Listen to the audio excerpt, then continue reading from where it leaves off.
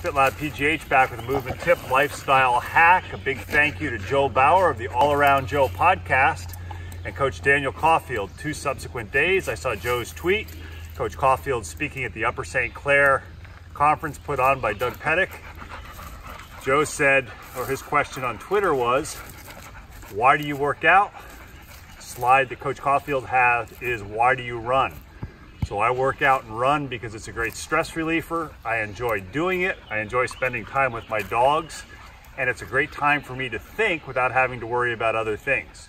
So when you work out, think about why you do it. And sometimes that can help you maintain movement on a regular basis, even when life gets stressful.